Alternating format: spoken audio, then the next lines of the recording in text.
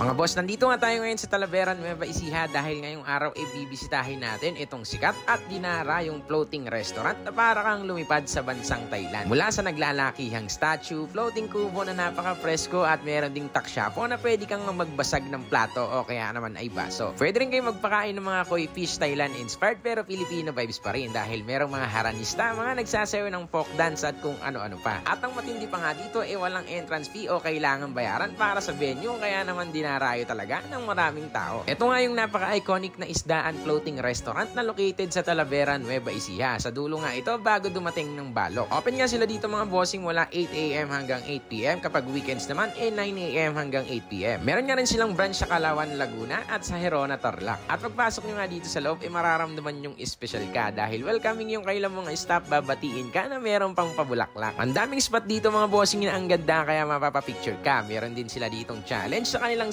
Kilo Bridge na kapag nalagpasan mo nga, eh pwede kang manalo ng libreng isang kilong isda. Sobrang luwang nga dito mga bossing perfect sa kahit anumang okasyon at ang matindi nga, eh wala kayong kailangang bayarang venue o reservation fee. Ilan nga sa pagkain ipinagmamalaki nila dito, eh yung kailang sari-saring bangka special at dito nyo nga daw matitikman ang original na lasa ng crispy pata dahil ang owner nga nito eh si Mr. Rod Ong Pauko na siyang nakaimbento nga ng crispy pata noong siya ay 15 anyos pa lamang. At ito na nga yung kanilang menu mga bossing, pakipost nyo na lang ulit yung video para makita nyo yung bawat presyo. At syempre, una nating tikman dito mga bossing itong kailang crispy pata. 680 yung large nito, pwede nyo ring ipadibon. Kain tayo mga bossing. Unang kagat.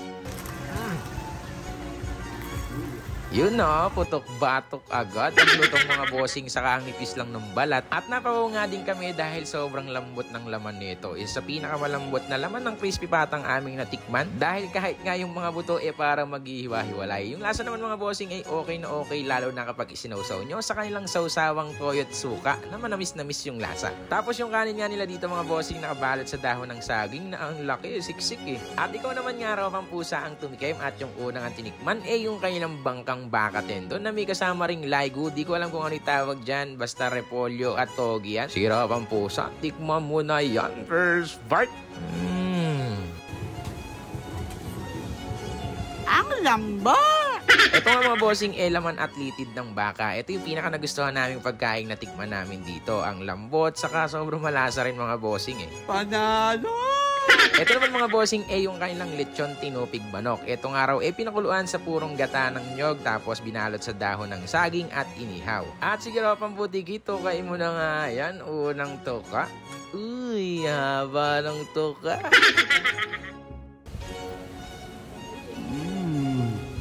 Parang chicken. Yung lasa nga nito mga bossing para sa amin eh sobrang nangibabaw nga yung lasa ng dahon ng bukol. Ay este dahon ng saging pala mga bossing. Saka ma-juicy rin mga bossing manamis-namis ng onti. Okay na okay na kahit walang sauce. Ito naman mga bossing yung kailang seafood kare-kare. Malapot yung sarsa nito mga bossing. Natnikman nga nitong ropa nating nagpapabote na si Ropang Nognog. Uy, tumuturit pa. Medyo pumupos yun. Ah. Isang subo pa nga Ropang Nognog. Uy, pumipikit pa.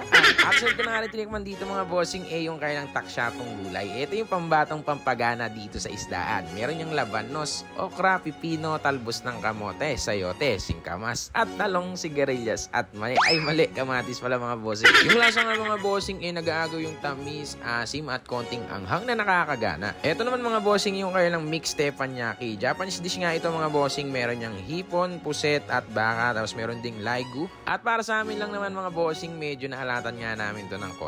At meron nga rin sila ditong pang malakasang halo-halo na paborito talaga nating mga Pinoy kapag mainit ang panahon. Ang daming klase ng sahog nito mga bossing. Merong nata, beans, ube. Meron ding langka, buko, leche plan at kung ano-ano pa. Tapos meron pang ice cream sa ibabaw. Tapos meron ding tubig ng makiling. Ito mga bossing malunggay with citrus juice. Uy, may malunggay. Pampagata!